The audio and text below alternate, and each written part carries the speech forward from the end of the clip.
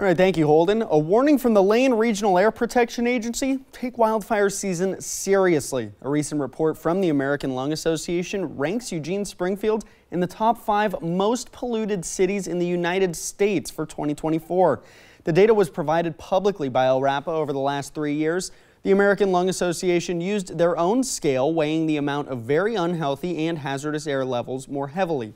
LRAPA says the only time Eugene Springfield ever has those levels is during wildfires the 2020 Holiday Farm fire, uh, the 2021 Middle Fork Complex fire, and the 2022 Cedar Creek fire. So they averaged the last kind of three years together. And those three fires had a pretty significant impact on our air quality and is the reason why we saw such a poor grade for the Eugene Springfield metro area from the American Lung Association.